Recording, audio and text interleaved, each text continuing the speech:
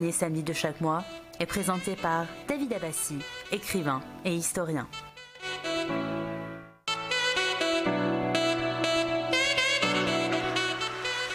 Vous avez la parole pour vous exprimer et poser vos questions en composant le 08 92 23 95 20. Cette personne a été arrêtée à Finistère. Il se préparait des actes terroristes et pour aller en Irak et Syrie. Sept personnes. De l'autre côté, un policier va frapper quelqu'un et on dit, lui, il a dit qu'il a craché du sang sur son visage. Alors s'il avait du sang dans euh, la bouche, il était frappé avant, mais on ne sait pas est-ce que ça justifie de le frapper ou non. Ça aussi, vous pouvez vous exprimer. Mais de toute façon, moi, je crois que les gilets jaunes sont partout actuellement, positifs ou négatifs. Parce que vous savez, dans les gilets jaunes, il y a positif et négatif. Il y a des gens qui profitent des gilets jaunes pour faire la violence et qui ne sont pas les gilets jaunes d'origine. Voilà. Alors, je crois que même partout, n'importe où, dans, un restaurant, un hôtel, à la poste, à la banque, euh, même à, la police, vous avez des gilets jaunes. Ils contestent et détestent euh, peut-être le système. Après, ils font des choses parce que quand on tabasse quelqu'un dans la roue, on peut savoir qu'il aura une caméra à, filmer aussi.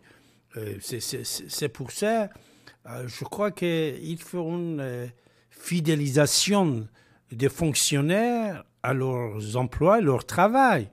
C'est-à-dire, euh, ça, vous, pouvez le voir partout. Euh, alors, quand vous voyez partout, il y a des mécontentements, les employés ne servent pas bien les gens.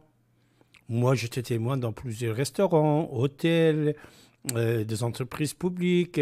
Quand vous entrez, il y a 50 personnes qui travaillent dans le bureau, ou je ne sais pas où.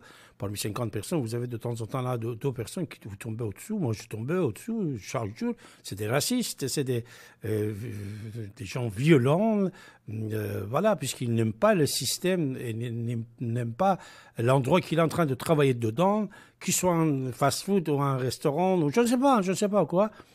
Euh, même à l'école, hein, à l'école, heureusement que les professeurs, nos maîtresses, ils sont bien, mais de temps en temps, vous attrapez les gens, vous voyez les gens. Par exemple, récemment, j'ai constaté quelque chose, c'est que la directrice dans, euh, dans l'école, il a refusé le vœu d'un parent.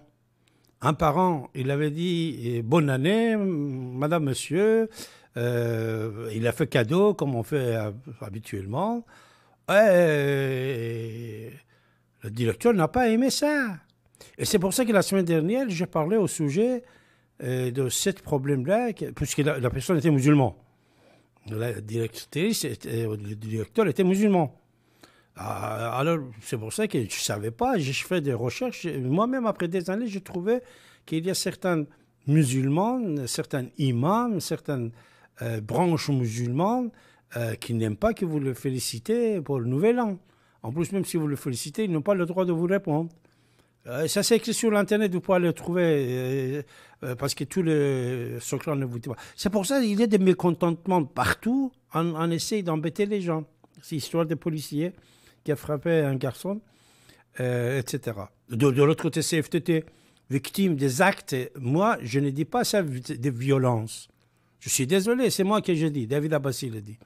Quand CGT, il attaque d'autres mouvements qui ne font pas de grève, qui ne suivent pas, c'est une dictature, il va imposer ses, règles. C'est des terroristes, c'est des actes terroristes, CGT. CGT, quand vous attaquez vos collègues CFTT, puisqu'ils ne font pas des actes euh, comme vous, c'est des actes terroristes. Quand vous coupez l'électricité des gens, des hôpitaux et tout ça, c'est des actes terroristes. Vous terrorisez les gens.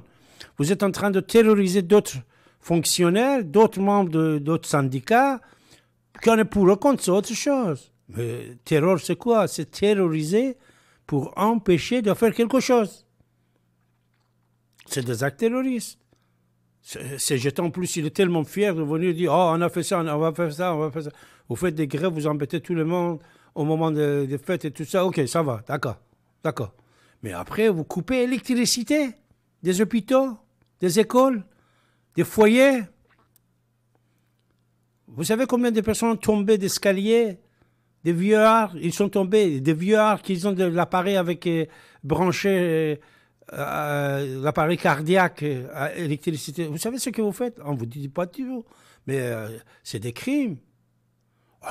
Vous avez le droit de faire des grèves et tout ça, mais vous n'avez pas le droit d'aller terroriser les gens. C'est ça des choses qu'il faut le comprendre. C'est difficile. C'est difficile. Notre époque, c'est vraiment, une époque. Vous savez qu'est-ce qu'on a besoin? Un Charles Pasqua. Vous avez connu Charles Pasqua? Un Charles Pasqua. Une fois, sur notre antenne, ici et maintenant, c'était 2h, 3h du matin. On était à l'époque quai de au 13e étage, je ne sais pas quel étage. Le studio de la radio était là-bas. C'était un samedi. C'était 2h, 3h du matin. C'est un exemple que je vais vous donner pour voir comment un homme, il peut être patriote et il peut être garant de sécurité du pays. Quelqu'un m'appelle, il dit David, je vais venir le matin de vider mon pistolet sur ta tête, je vais te tuer. Il m'a dit sur l'antenne. Et à 6 h du matin, à 6 h du matin, dès que je sors de la radio avec mon équipe, allô, oui, bonsoir.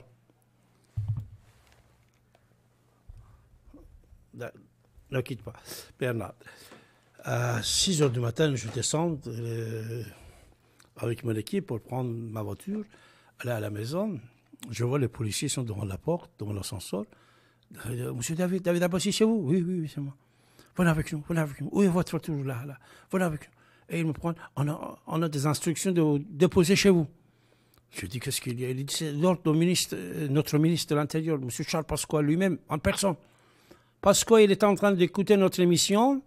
Il attend ça, ou peut-être il a dit, monsieur le ministre, écoutez ça. Enfin, lui-même, il avait écouté, parce qu'après, il m'a dit que moi-même, je l'écoutais.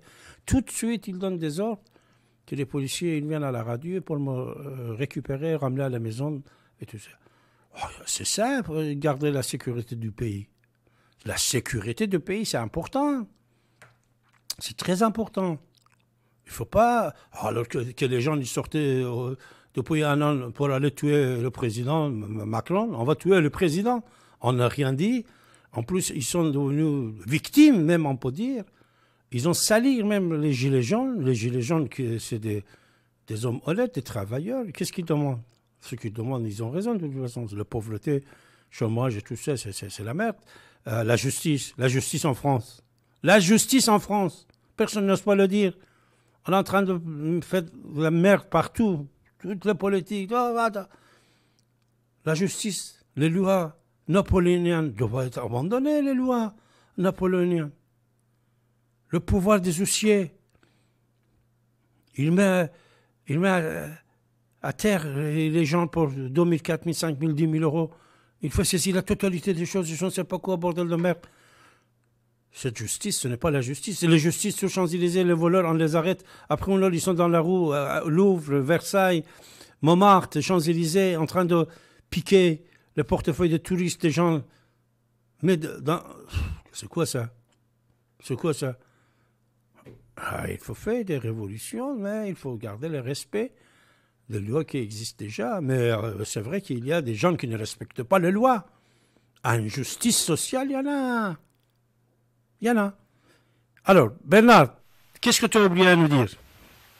Oui, je reviens parce que suite à mon appel, j'ai raccroché et j'ai entendu donc la suite de